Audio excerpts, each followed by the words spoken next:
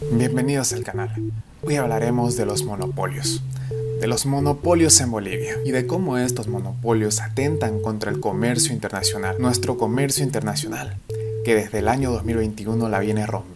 Durante el 2021 se pudo lograr un gran superávit comercial, llegando a los 1.471 millones de dólares. Y en lo que vamos del 2022 hemos llegado a 698 millones de dólares, la cifra más alta desde el primer trimestre desde el año 2014. Nuestras exportaciones y nuestro flujo comercial no para de ascender. Lamentablemente esta actividad generadora de divisas y de nuevas fuentes de trabajo tiene que sufrir las consecuencias de actividades monopólicas que deben ser resueltas, ya sea por el gobierno, por la población, pero se deben tomar cartas en el asunto. Por un lado está el sector transporte, que con muchas medidas de presión impidió que el ferrocarril La Paz-Arica vuelva a funcionar. Este ferrocarril es demasiado importante para nuestro país, ya que puede mover muchos kilogramos de carga, lo cual permitiría transportar toneladas y toneladas de mercancía. Ahorraríamos en gasolina, tiempo, en mano de obra y mucho más. Y además de todo esto, el transporte ferroviario se complementaría con los otros medios de transporte y mejoraría la competitividad en Bolivia y en nuestro comercio. Otro monopolio que afecta directamente a los bolivianos y a nuestro comercio internacional es el del sector de transporte aéreo. La empresa TAP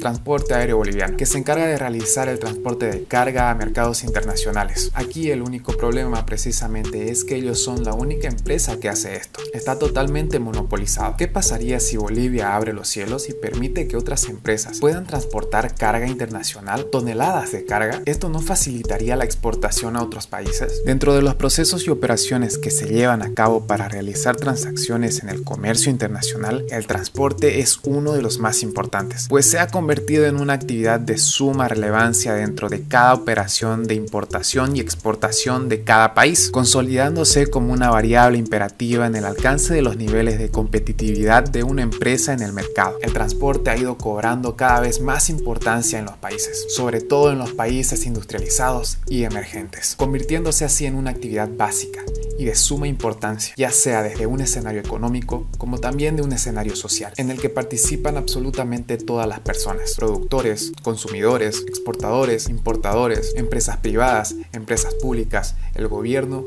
y todo el mundo. Si queremos mejorar la competitividad de nuestro país, de nuestros productos nacionales, de nuestro mercado, el sector logístico, el sector de transporte, debe contar con todos los medios necesarios para rebajar costos y lo más importante, para cumplir con los plazos de entrega establecidos. Y si nos ponemos a pensar, siempre es el transporte. Es un punto clave, es la pata principal de nuestra mesa. Por ejemplo, el diésel. Si bien el gobierno afirmó que el diésel estaba garantizado y que no existía ningún problema, tardó en llegar y está tardando en llegar. Pero ¿qué factores influyen? Sin duda alguna el factor logístico es uno de los más importantes y tenerlo monopolizado muchas veces cierra las puertas a otras oportunidades. Y claramente no me refiero solamente al gobierno cuando hablo de monopolio. El gobierno no tiene nada que ver con el transporte, si bien tienen lazos y acuerdos establecidos. Quiero dejar en claro que no estoy tomando en cuenta un punto político. La perspectiva de este video es totalmente económica y social, lo que es mejor para nuestra sociedad para Bolivia y para nuestro comercio internacional. Y tampoco estoy diciendo con este video que se deban crear empresas privadas. Se podría desmonopolizar con otras empresas públicas que hagan la competencia a las empresas que ya existen. Mientras más empresas existan, la competitividad crecerá y los estándares de calidad serán más altos, lo que beneficia totalmente a los consumidores, o sea, nosotros. ¿Qué opinas al respecto? ¿Piensas que el sector de transporte internacional está totalmente monopolizado en Bolivia y en otros países de Sudamérica? Hace un par de videos vimos el caso de China y su monopolio de